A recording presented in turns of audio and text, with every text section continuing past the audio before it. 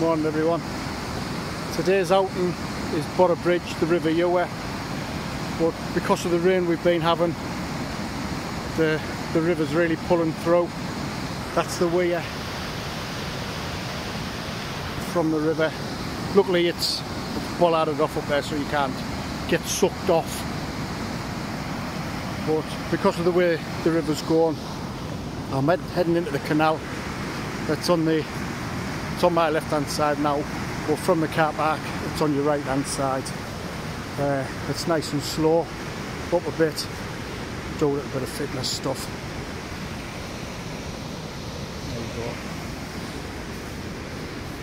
It's Bridge 9's the access. There's a little car park, straight down, it's lovely.